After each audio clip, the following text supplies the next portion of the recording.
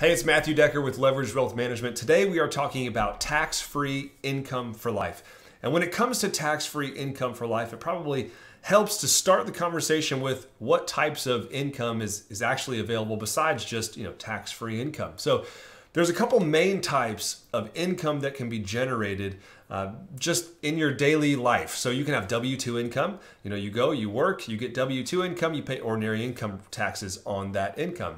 You can have capital gains income, long or short term. It depends on how long you hold the asset. Less than a year is short term, more than a year is long term, and those are taxed at different rates. Then you can have tax deferred monies where you put money into an investment and it comes out totally taxable at ordinary income rates later on down the road. Today, though, we're talking about tax free income where you can put money away, it can grow, you can use it later, and you're never taxed on it. So, why in the world would you want tax free income besides the obvious? It's not taxable. Let me share my screen with you and show you exactly why tax free income in today's environment is more and more popular. So, what we've got here are the top marginal tax brackets going all the way back to 1913. And what's crazy about this, if we go on the right side of this page here, 18, 19, and 20, top marginal rate, 37%. When you look at that 37% rate, and if you find yourself in the top marginal rate, you might think like, man, I am paying so much in taxes that it's like it's nauseating. It's bleeding me dry. And sometimes i feel that way and i'm sure that you probably do too.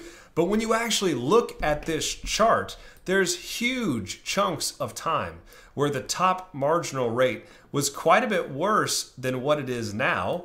Uh, in fact for the majority of history the top marginal rate is a lot higher than the 37% that presents itself right now. In fact, the, the highest top marginal tax bracket rate was in 1944 1945 at 94%.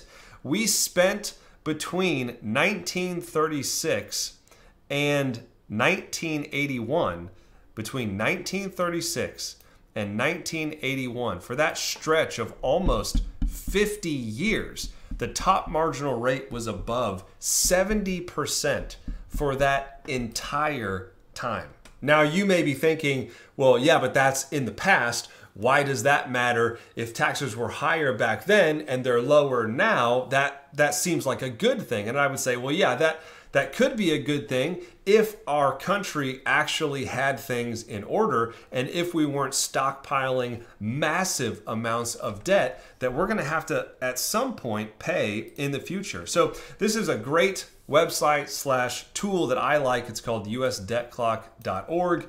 If you haven't ever checked that out, I would encourage you to check it out. It's a real-time kind of ticker tape of how much debt and spending our government is spending on a by the second basis. And so when we took this snapshot a couple days ago, our total US national debt was 28 trillion dollars.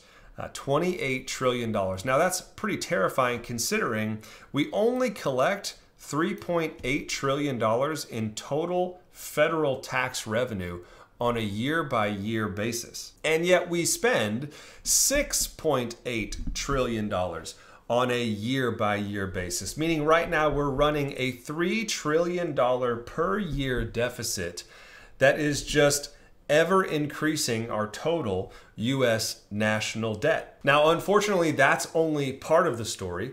When we talk about our US national debt, our government accounts uh, differently than you and I would actually order our books and do accounting.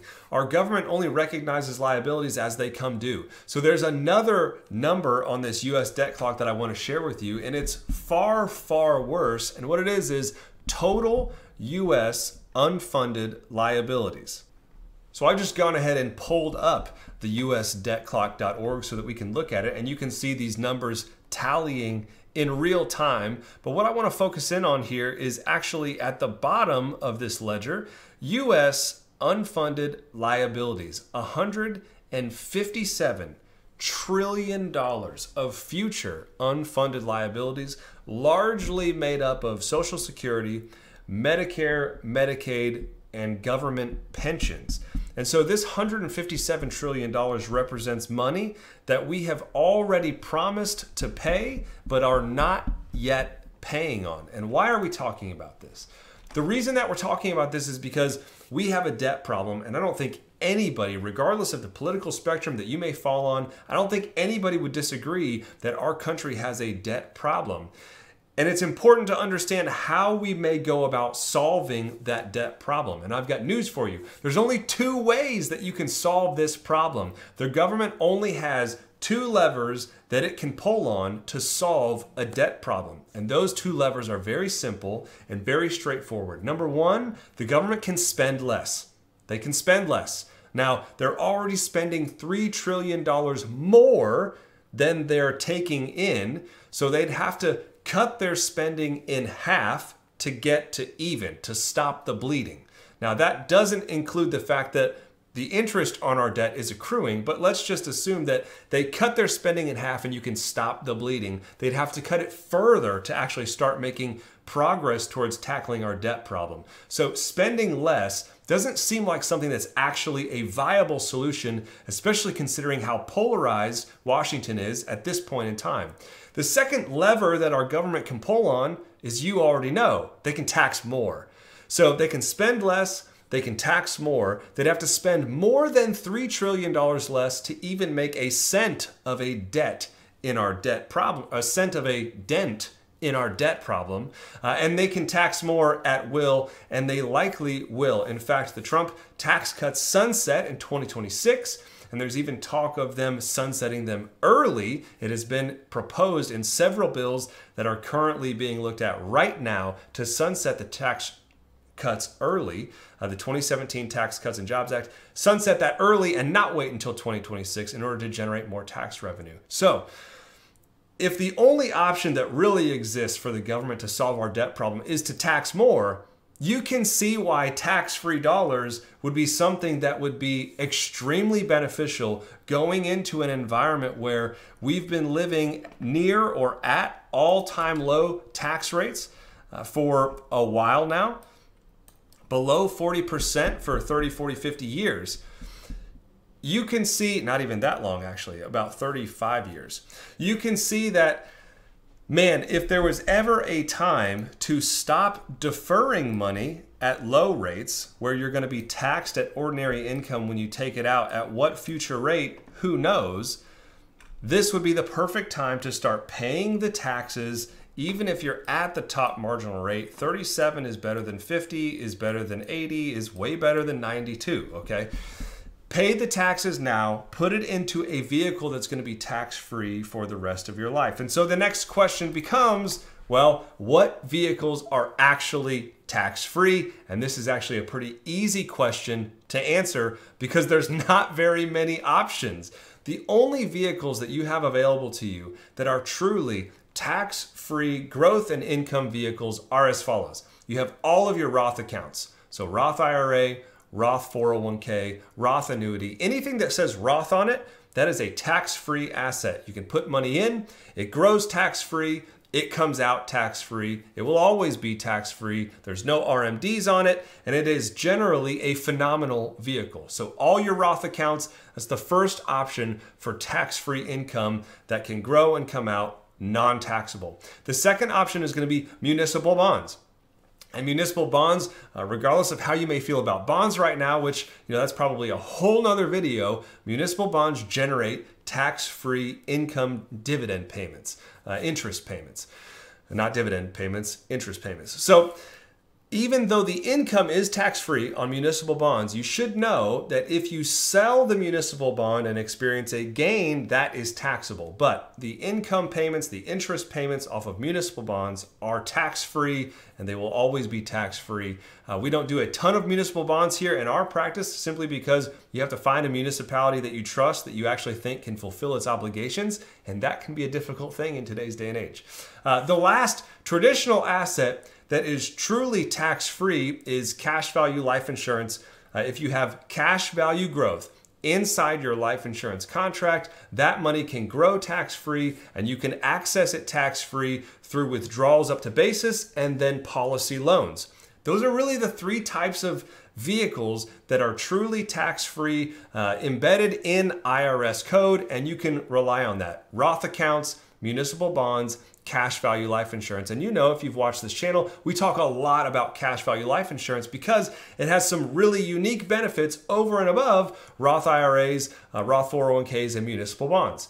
Uh, now, that, does that mean it's a fit for everybody? No, it's not a fit for everybody. But for some people, specifically high income earners who maybe can't contribute to a Roth IRA because of income limitations, or those looking to put away vast sums of money on a yearly basis and are looking for a higher risk profile than a municipal bond, cash value life insurance can be a phenomenal option for those people. I would also add as a bonus the last type of income that you might be able to consider tax free would be rental income if you're able to offset the rental income through depreciation. Now, that comes with a whole other set of not necessarily problems, but obligations on your part because at some point depreciation runs out, which means if you're going to use rental income uh, and you want it to be tax free, you're going to always have to be purchasing new assets in order to renew the depreciation that you have to offset the income. So, those are the types of tax free assets that exist. Uh, we do a lot of cash value life insurance. We advocate for a lot of Roth conversions, uh, a lot of funding of Roths if you're under the income limit in order to be able to do that. And the reason that we do that is because taxes are at an all time low rate when you actually look at where they've been from a historical standpoint. Couple that with the fact that we have an enormous amount of outstanding debt, and the only way to solve that debt problem is for the government to either spend less or tax more. There's never been a better time to start really getting into tax free assets. If you have questions about generating tax-free income, we would love to talk with you. You can go to our website, leveragedwm.com slash contact us. You'll see a page that looks like this. You can book a call, a quick discovery call meeting with us right here from this page. This is our real-time calendar availability. We can chat about what you're trying to do, what your goals are, and if we can help you achieve those goals, we would love to do that. Again, this is going to be the first video in a series of videos talking about tax-free assets. We're going to do a deep dive on cash value life insurance as a tax-free income stream for life in future videos. And if you haven't already done so, subscribe to this channel. Make sure you click the bell so that you get notifications so that as we roll these videos out over the next four to six weeks, you can make sure that you get those notifications and stay informed on this series. So, thanks so much for joining me this time. Until next time, this has been Matthew Decker, Leveraged Wealth. We'll talk to you soon.